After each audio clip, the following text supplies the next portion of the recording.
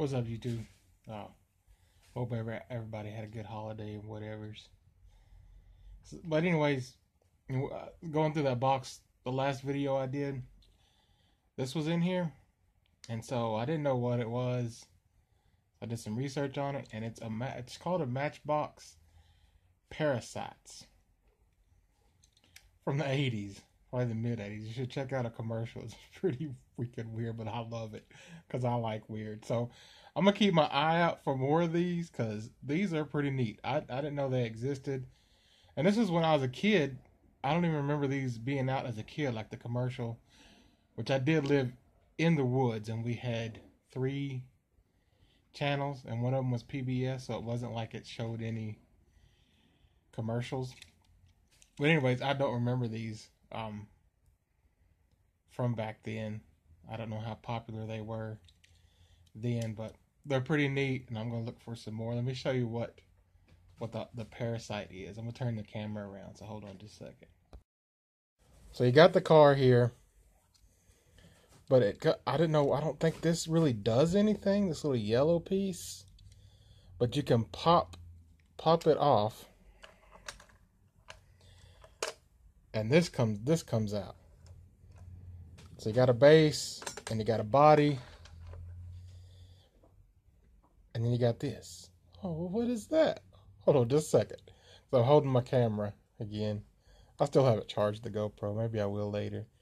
So let me let me see if I can I don't know where the, the camera's at. I just laid it on my, my stomach. So I might be filming this and I might not.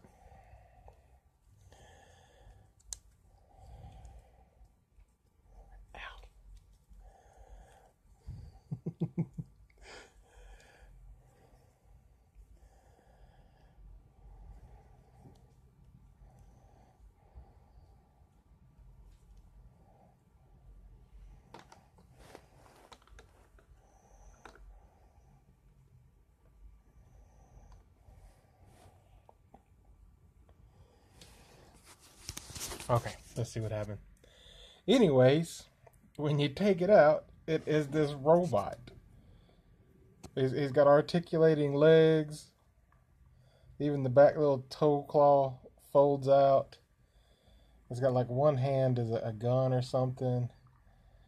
One hand like a little robot hand. I mean, it moves. It's hard to tell with the this, but I mean, it all moves. The head moves up and down. And you can tell this is the head because there's an eyeball. But anyways, I thought this was a cool piece, Billy. I don't know if you realize that's what this thing did. But if anybody has any of these crazy things just laying around in their in their parts boxes or junk boxes don't know what to do with them, well, ah, now you know what to do with them. So I just knew something was funky about it when I when I pulled it out. I just didn't know it was like a part of some type of set, but apparently it's part of some robot things. So yeah, I thought I'd share that with you guys in case y'all were wondering, like me, what that piece was. Or maybe you already knew. If you already knew, let me know what your thoughts are on the Matchbox parasites, or if you had them when you were a kid. I didn't know they existed till Billy put this in that box. So, really neat piece, Billy one of the coolest things I've seen in a long time as far as like some of the, the retro, the more vintage, the 80s stuff. 80s was a weird time.